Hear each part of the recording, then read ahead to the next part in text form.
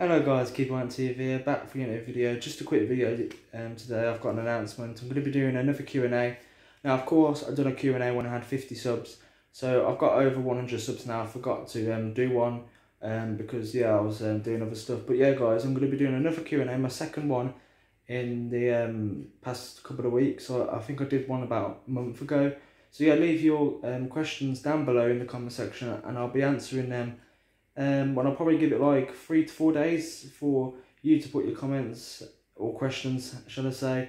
But yeah, guys, um, make sure to like, share, subscribe, and keep watching TV, and hopefully um, we get a lot of questions.